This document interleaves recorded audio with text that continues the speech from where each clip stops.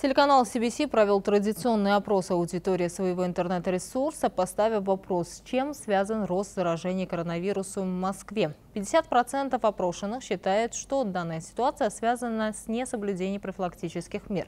По мнению 29% респондентов, с появлением нового штамма, а остальная аудитория YouTube-канала CBC думает, что рост заражений COVID-19 связан с недостатком ограничительных мер.